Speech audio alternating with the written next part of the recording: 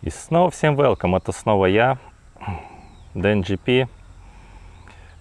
Давно у нас не выходило какого-нибудь полезненького видео. На этот раз речь у нас пойдет про сотовые операторы в Японии.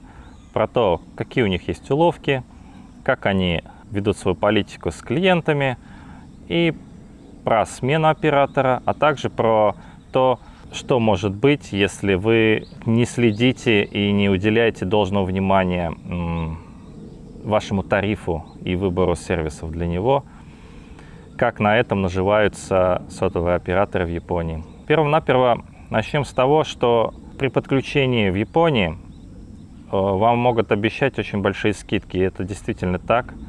А, что на телефон, что на тариф бывают очень большие скидки, вплоть до 50%.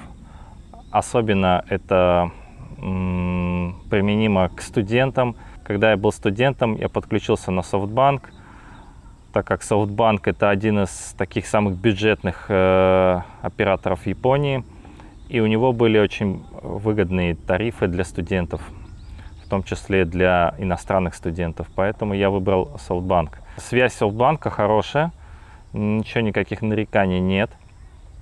И я получил как студент скидку около 50%. На то время это были большие деньги порядка 4000 йен, в то время как остальные платили около там 7-8 тысяч. Я в это время платил около 4, 4 тысяч йен в месяц. А, в него были включены и интернет безлимитный, ну как безлимитный, условно безлимитный, потому что там давалось около 6 гигабайт, 6 или там 5, я точно сейчас не помню. Ну а после использования этого количества трафика вам скорость просто урезали до 128 килобит в секунду. Но также продолжался э, интернет, то есть его не отключали. Вы также могли им пользоваться. Ну, как бы скорость, естественно, ниже. По прошествии двух лет я перешел на другого оператора, на Докумо.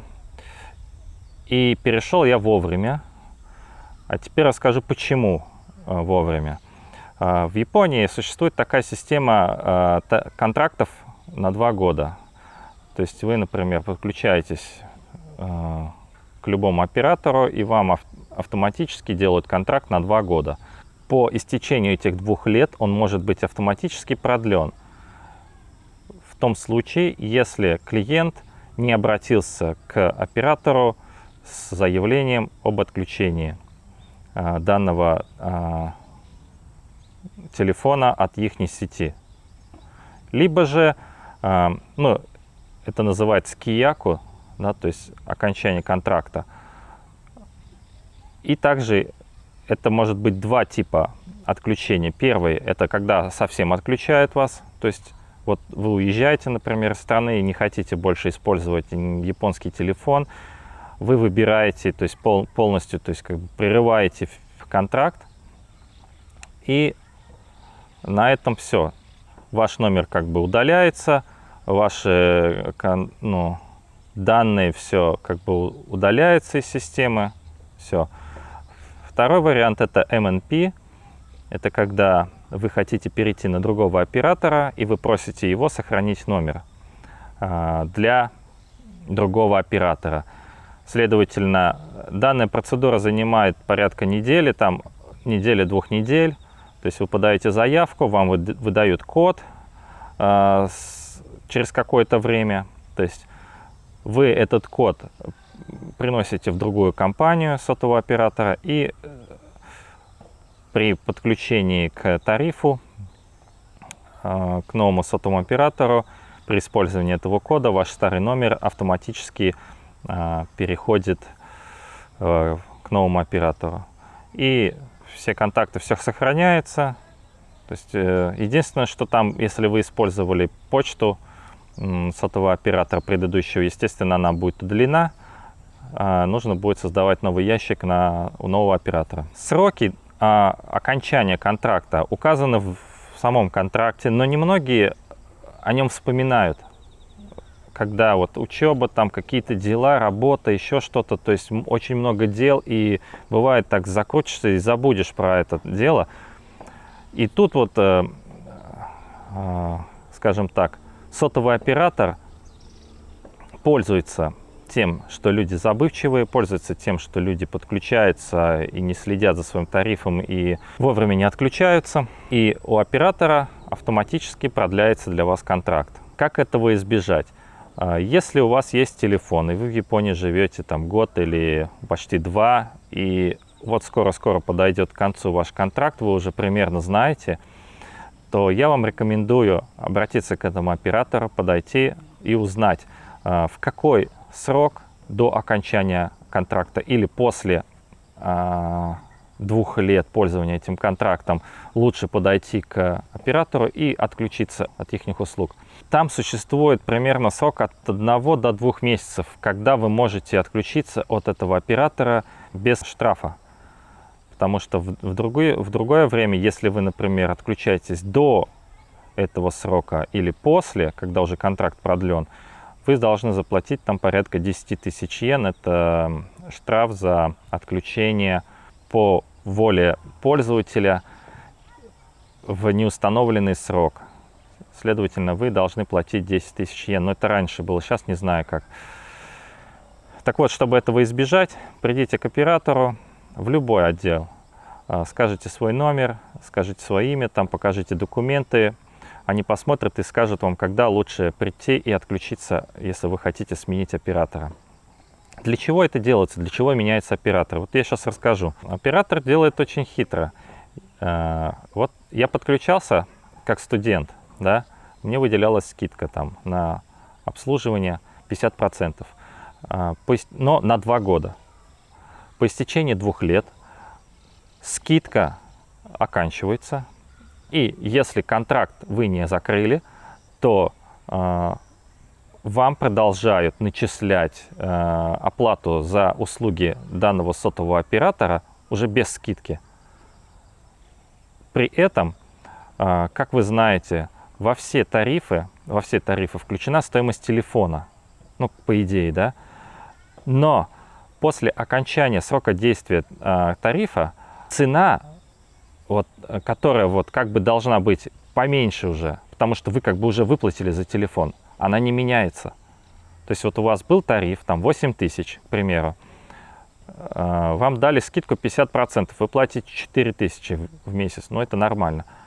4 тысячи в месяц в течение двух лет, прошли два года, вы не отключились, следовательно, когда наступает новый год, контракт продляется на два года, и вам уже начисляют, э, скажем так, за услуги пользования этим оператором по 8 тысяч йен.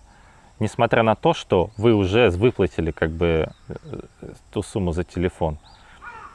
И как нужно поступить в этом случае? По истечении двух лет вы приходите к оператору, отключаетесь от него, то есть оканчиваете контракт. Телефон при этом остается вам. То есть вам не нужно его возвращать, потому что в эти два года уже включена стоимость за телефон, и вы как бы уже выплачиваете ее полностью. И идете просто к следующему оператору, подключаетесь уже с этим телефоном, уже подключаетесь к другому оператору уже по более выгодным условиям. Там, например, если вы выбрали оператора FreeSIM, то это вообще идеально. То есть вы можете вообще с российским телефоном подключиться к любому оператору, без проблем и пользоваться его услугами, платя только за интернет. Ну, потому что звонки как бы вам не, особо будут нужны, я думаю. Сейчас все через интернет звонят. Это Viber, там WhatsApp или Telegram, ну и, и все такое, Skype. Поэтому я не думаю, что вы будете пользоваться телефоном. Но в любом случае э, он нужен, потому что вам нужно будет звонить в какие-то там службы, в, там, в городское управление, муниципалитет, школы и тому подобное, на городские номера, это нужная вещь. Это уже будет более выгодно, если вы подключились к данному оператору по тарифу FreeSIM и платите только за интернет, это намного выгоднее, это вы будете платить, вот, например, в данный момент я плачу где-то 2800 йен за 10 гигабайт интернета, мне вот так вот его хватает, я даже половину из этого не использую, потому что, ну, на работе Wi-Fi есть, дома Wi-Fi есть, э, где-нибудь, если ездишь, что ты смотришь на поезде или еще где-то, я не использую столько трафика по мобильному интернету, поэтому э, у меня даже пяти не выходит, но я на всякий случай взял запасом, если вдруг что-то, если где-то буду смотреть более такие ви видеоролики там с хорошим качеством или, э, например, музыку слушать там по радио, или же, например, прямые трансляции какие-то смотреть, те же самое телевидение, еще что-то там по телефону, то да, конечно же, будут э, трафика больше использоваться, и я взял с запасом, при этом, что, при том, что э, от 5 до 10 гигабайт, там разница небольшая, что-то порядка 300-400 йен, ну, это вообще ни о чем. Это первая э, уловка, на которую ловят операторы, скажем так, э, забывчивых клиентов – когда они забывают отключиться и по окончанию скидки им начисляют э, более большую сумму за оплату услуг телефона. И я скажу, что у меня есть друзья, те, кто действительно а, попадался на это, и они просто недоумевали, почему такие цены за, за телефон приходить начинают. А когда разобрались, оказывается, вот из-за этого то что скидка закончилась, а нужно платить уже без учета скидки э, ну, полную стоимость. Второй момент – это когда вы забываете отключать какие-либо сервисы от сотового оператора. При подключении к сотовому оператору он вам по умолчанию подключает разные сервисы. То есть раньше вообще было очень строго, когда э, были три всего оператора основных, это SoftBank, AU и Docomo. Раньше от них нельзя было отказаться, и нужно было платить за эти сервисы полную стоимость и в течение двух лет. Но потом, по прошествии какого-то времени, постепенно стали вводить опционально эти сервисы. Но при этом первый месяц вы за них обязаны заплатить. Ну а после первого месяца вы как бы можете отключиться и все, платить уже меньшую стоимость. Так вот, как они делали? В самый первый месяц, когда приходите к оператору, подключаетесь, а, они вам подключают различные сервисы, такие как э, страховка, это если вы разобьете телефон, то есть за, за нее. То есть помимо того, что сам Apple дает, например, страховку, если вы покупаете там iPhone, вот у меня был просто первый телефон iPhone 4s, и мне на него тоже прикрепили эту страховку, но после этого я от нее благополучно отказался. Так вот, помимо вот этой Apple Care, они туда еще э, свою софтбанковскую страховку добавляют. Ну, вот я, например, софтбанк расскажу. Плюс к этому там сервис, который дает скидки на звонки. Например, если вы звоните, вы обязаны платить там примерно 40 йен за минуту, к примеру, да, а если вы подключаете эту скидку, то вы будете платить 20 йен за минуту, ну, к примеру. Следовательно, если вы не звоните много, зачем вам, зачем вам вообще эта скидка? Чтобы получить эту скидку, вы должны платить ежемесячно 1000 йен. То есть, ну, если я не звоню столько, зачем мне платить за скидку 1000 йен? Я максимум там наговариваю там одну, две, три минуты, там может быть меньше в месяц, это тоже от этого отказываемся. Потом, ну, там разные сервисы, в общем, э, также есть там всякие скидки на пользование их магазином, там скидки на какие-либо там запчасти при ремонте, э, скидки на, скажем так, на интернет в том числе, там, если вы подключаетесь, у вас там мало, и у вас там есть скидка на продление интернета, так бы вы платили за интернет, например, 2 гигабайта вам в месяц выделяется, и вы бы платили за интернет примерно ну, 2000 йен, и следующие, последующие, например, если вам не хватило этих 2 гигабайт, вы можете как бы подключить еще 2 гигабайта, и за них вы еще должны будете заплатить 2000 йен, но со скидкой – примерно 500 йен в месяц, вы будете должны платить всего лишь 1000 йен э, за эти 2 гигабайта. Ну а если вы сразу подключили э, там 5, 6, 7, 8 гигабайт в месяц, то вам эта скидка не нужна, следовательно, от нее нужно отказываться. Так вот, у этих крупных операторов, это SoftBank, EU и Docomo, первый месяц там обязательно нужно использовать эти сервисы, но потом вы можете отказаться. И при этом э, вам это, об этом сразу говорит э, менеджер при подключении. Но некоторые люди об этом забывают. Вот месяц попользовались, там что-то дела, все, учеба, учеба, дела, закрутились, там все забыли, раз, и не отключились. А эти сервисы каждый месяц могут сжирать там по 3000 йен, по 4000 йен, ну, из вашего бюджета. Вы ими не пользуетесь, но это не важно. Вы за них платите. Следовательно, каждый месяц э, оператору выгодно, чтобы человек не приходил и ничего не отключался. И на этом и зарабатывает оператор. А простому человеку, естественно, ну, это не, неудобно. Если он, например, работает, а сотовые операторы, они же тоже, они не, до, не допоздна, там до 8, до 7 часов, и если у вас там байта какое-то вечернее есть, и у вас нет времени заехать в, к сотовому оператору после работы, потому что уже закрыто все, или же там вы заняты, а обычно как? Вы к нему приезжаете в офис, а у них там очередь. Очередь там человек 5-6 там. Ну, тебе тоже кто-то хочет отключиться. И приходится ждать. И приходится ждать там ну, час-два часа. Иногда столько времени нету ожидания ну, в, в этом в офисе. Поэтому люди, ну, как бы ладно, потом, потом, то есть на потом откладывают, а в итоге это все как бы каждый месяц сотовый оператор снимает с вас э, деньги за сервисы. Такая э, фишка с сервисами в основном вот у этих трех больших, э, у этих трех крупных операторов. У других э, операторов, которые FreeSIM или же через интернет, если вы регистрируетесь, как вот э, я рассказывал об одном из них в предыдущем видео про сотовую связь, вы можете посмотреть по ссылке в описании у фрисим операторов обычно никаких сервисов нету дополнительных, и вы платите только за интернет или там интернет плюс телефон и тому подобное.